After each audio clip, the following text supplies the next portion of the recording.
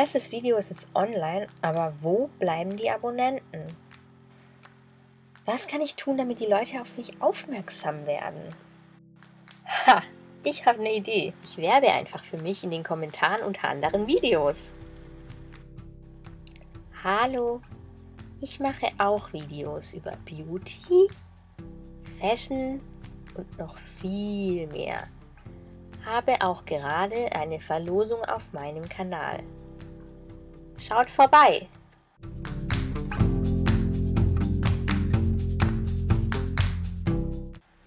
So, und jetzt markieren und kopieren. Und das verteile ich jetzt unter sämtlichen Videos. Und warte. Und warte. Und warte. Fünf Stunden später. Jetzt wollen wir doch mal gucken. Bestimmt haben mich jetzt schon richtig viele Leute abonniert.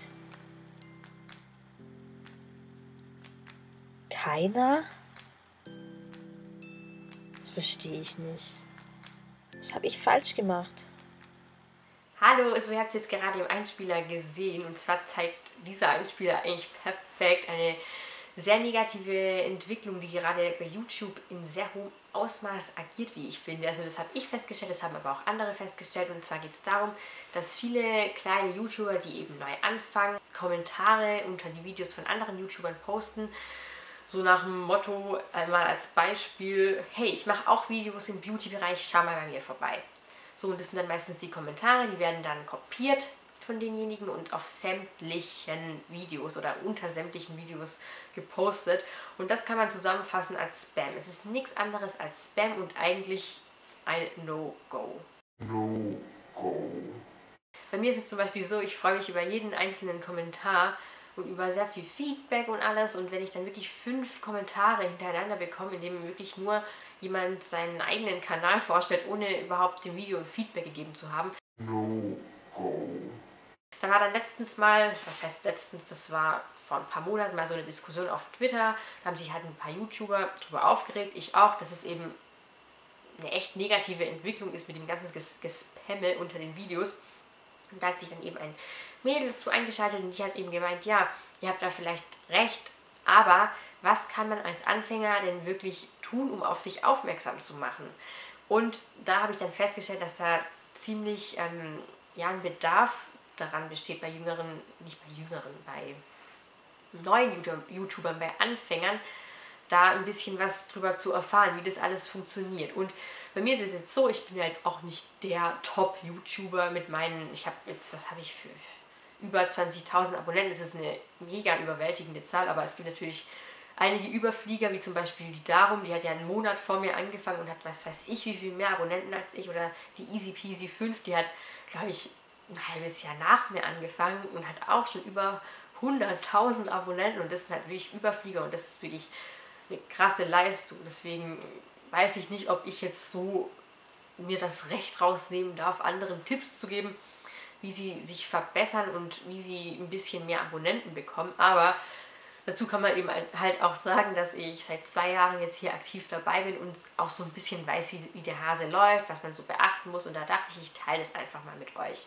Also nochmal zusammenfassend, ein absolutes No-Go, ein absolutes Don't ist es, Spam-Kommentare unter Videos zu verteilen. Dazu gehören meiner Meinung nach auch Kanalkommentare oder E-Mails, sämtliche solche Sachen. Das ist nicht wirklich so gut. Ich habe zum Beispiel auch schon mein YouTube-Postfach habe ich ähm, gar nicht mehr ähm, angestellt für, ich glaube, nicht Freunde von mir. Ich weiß gar nicht, wie das bei YouTube so läuft, aber bei mir war es, halt, halt immer so, dass viele immer mir E-Mails geschrieben haben, hier ist mein neues Video. Das ist so, war so eine Massen-E-Mail an 100 Leute, an 1000 Leute.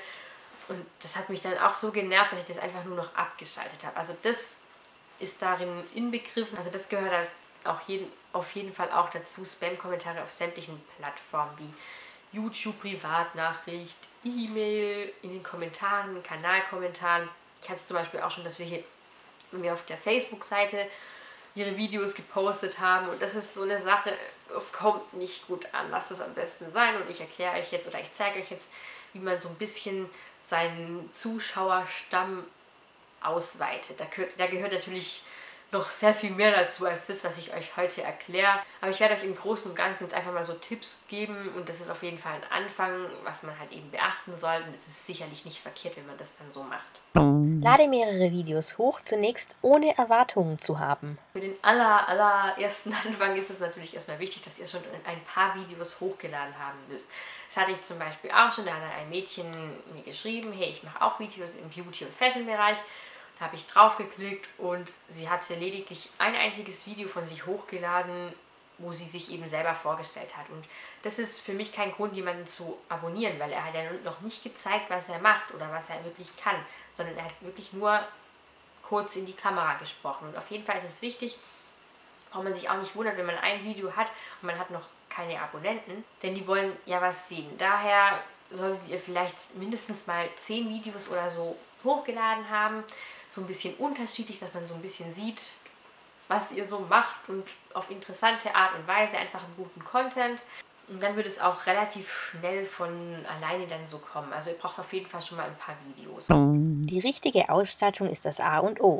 Und da gehört natürlich auch dazu, dass ihr ein einigermaßen gutes Equipment habt.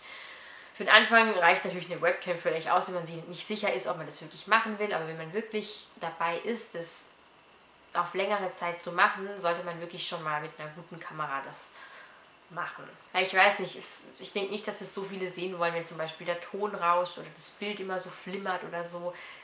Ja, am besten da überlegt man sich dann schon mal, sich das richtige Equipment anzuschaffen. Es gibt natürlich auch Leute, die reden immer noch mit ihrer Webcam und denen hört man einfach gerne zu. Denen sieht man einfach gerne zu, auch wenn die Qualität nicht perfekt ist, weil die Menschen einfach toll sind. Aber ich würde mal sagen, es ist so bei den wenigsten so wirklich der Fall. Inzwischen sind die Zuschauer mit guter Kameraqualität bei vielen YouTubern so verwöhnt, dass sie wirklich auch bei allen eine gute Kameraqualität haben wollen. Poste Videoantworten. So, dann sind wir jetzt soweit. Ihr habt jetzt schon ein paar Videos gemacht. Dann guckt einfach mal bei anderen YouTubern, bei größeren YouTubern, ob die ähnliche Videos haben? Und wenn ja, dann poste doch einfach eine Videoantwort. Da sehen nämlich die Leute, die von diesem einen YouTuber das Video anschauen, unten eben so ein kleines Thumbnail. Und da hat man dann auch schon was, worauf man eher klickt, als zum Beispiel, wenn jetzt nur so ein Text steht, schaut mal bei mir vorbei. Und man sieht, aha, da hat wirklich jemand ein Video dazu gemacht, das gucke ich mir doch glatt mal an. Und das versucht es wirklich auch sehr oft bei verschied vielen verschiedenen Zuschauern, äh, bei vielen verschiedenen YouTubern zu machen, auch bei ziemlich aktuellen Videos, weil die eben sehr häufig noch angeklickt werden und so kann man auch gut auf sich aufmerksam machen. Mache Tags.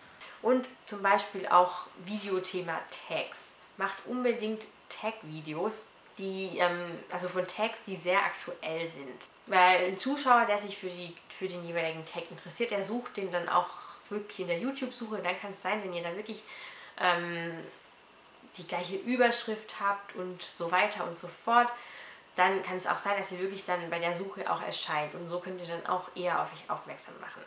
Stichwort Regelmäßigkeit. Ganz wichtig ist auch, dass ihr nicht nur alle paar Monate Videos macht, sondern wirklich regelmäßig, mehrmals die Woche. Gerade zu Anfang ist es wichtig, dass ihr sehr viele Videos hochladet. Also nicht zwei, drei am Tag, sondern vielleicht schon drei bis vier in der Woche. Und das sind gerade Videos gut, wie zum Beispiel eben erwähnt Tags oder halt bestimmte Reihen, die sehr viele YouTuber machen, wie zum Beispiel aufgebraucht Videos, Beauty, äh, Beauty-Videos, das ist ja sowieso, ähm, Outfit-Videos, Favoriten-Videos, die ihr eben dann auch einfach als Video einfach posten könnt. Und das eben, ganz großer Punkt, regelmäßig, ganz wichtig.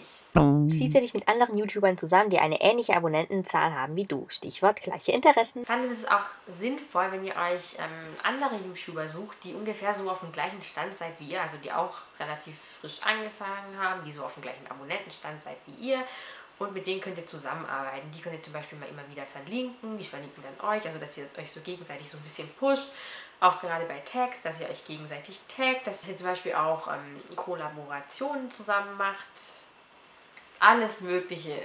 Eben einfach, dass ihr euch gegenseitig so ein bisschen unterstützt, dass ihr auch immer jemanden habt in eurem kleinen Kreis. Also so eine kleine YouTube-Clique ist nie verkehrt, wenn man das hat.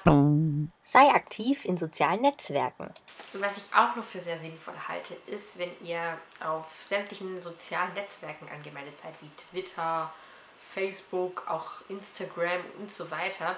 Und dann eben auch in direkten, wie sagt man, dass eben einfach so ein direkter Austausch mit euren Zuschauern stattfindet. Dass ihr einfach für die da seid.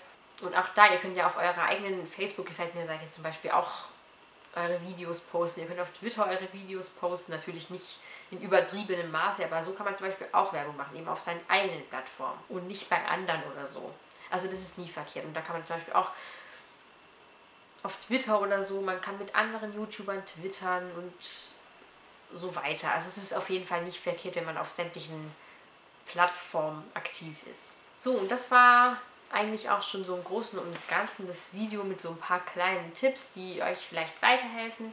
Ich habe mir auch überlegt, mal hin und wieder so ein bisschen so eine Reihe draus zu machen, indem ich einfach auch so ein bisschen erzähle, wie es läuft. Ich habe mir auch überlegt, dass ich zum Beispiel zum Thema Sponsoring mal ein Video mache und zwar aus Sicht einer YouTuberin, nämlich mich, die bei Sponsoring eigentlich nicht abgeneigt ist und die das eigentlich auch gut findet, nur wenn man es eben richtig macht. Das ist eben auch wichtig.